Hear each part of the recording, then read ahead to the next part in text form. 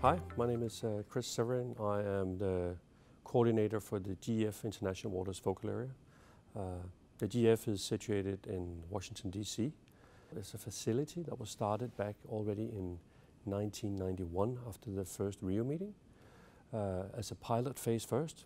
And then after, say, 18 months, everything was negotiated and it was turned into a permanent funding facility for global environmental issues so the GEF International Waters Focal Area is investing in five different uh, ecosystem types.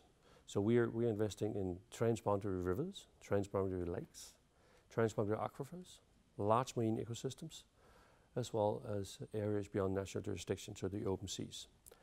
Within the International Waters Focal Area, there are a need for, we only do transboundary investments. That means that you are, we need to be more than, more than one country to address these uh, very complex issues around uh, shared resources such as water or the marine, uh, both the fresh and the marine waters.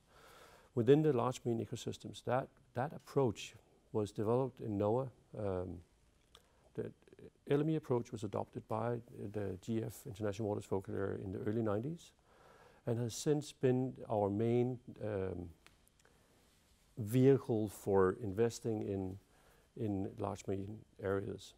It is uh, providing a, a, framework we can work within, and it's providing uh, countries uh, a mechanism for addressing these shared, shared issues.